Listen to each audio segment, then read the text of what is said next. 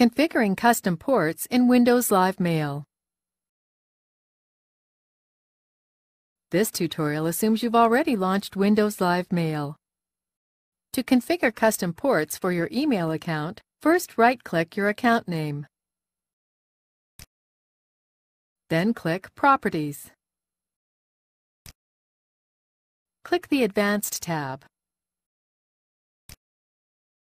This is where your email account's server port numbers are listed and available for you to change.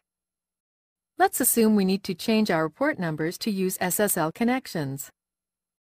Check here to require SSL for the outgoing server, then enter the new port number. Then check here to require SSL for the incoming server, then enter the new incoming port number. Note that the port number was updated automatically. When finished, click OK.